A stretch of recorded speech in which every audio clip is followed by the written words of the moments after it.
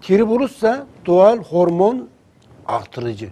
Tribulus yani çoban çökerten hormonların kalitesini artırır.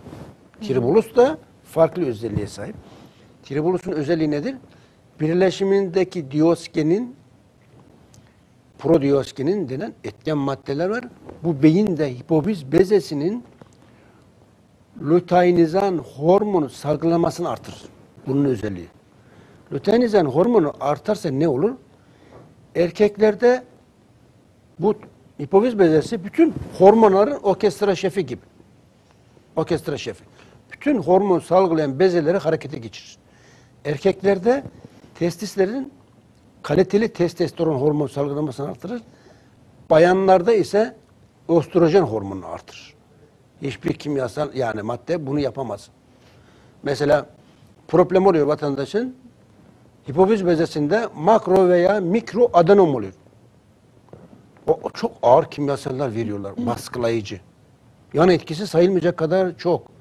Oysa bu tür problem olan kişi, mesela hipofiz bezesinde makro veya mikro adenomu olan kişi, iksir alıverecek. İksir her türlü miyom, kist, nodül, yağ bezi tümörü eritir. Her türlü.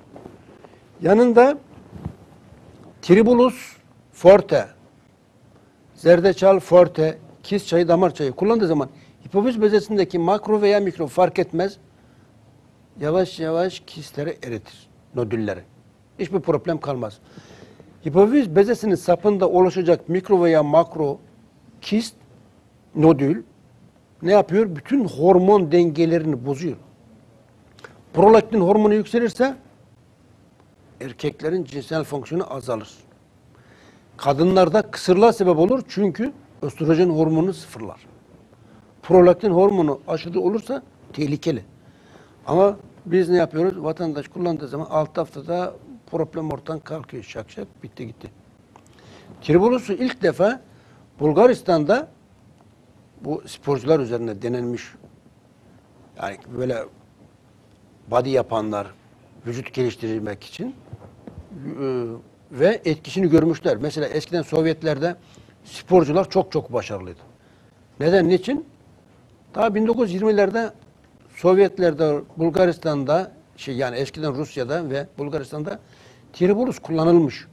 O nedenle eski Sovyetlerde ve demir perde ülkelerinde sporcular çok çok daha başarılıydı. Çok yoğun tribulus kullanmışlar. Yani tribulus kişiye enerji veriyor.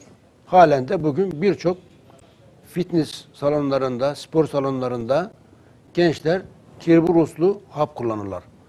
Kas yapıcı, güçlendirici, enerji verici, testosteron hormonunu artırıcı vesaire birçok fonksiyonları var. Evet, bunun böyle mükemmel bir ürün.